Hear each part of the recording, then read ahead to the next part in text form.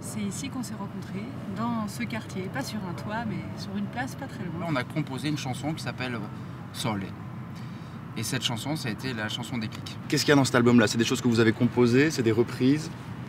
Oui, euh, c'est- que des compos et plus une reprise de Jobim.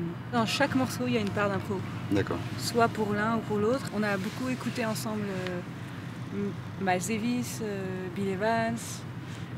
Moi, j'aime bien, j'aime bien ressortir mes partitions de Satie. Et puis Rage Against the Machine aussi. Et puis un peu Jaco Pastorius quand même. hein.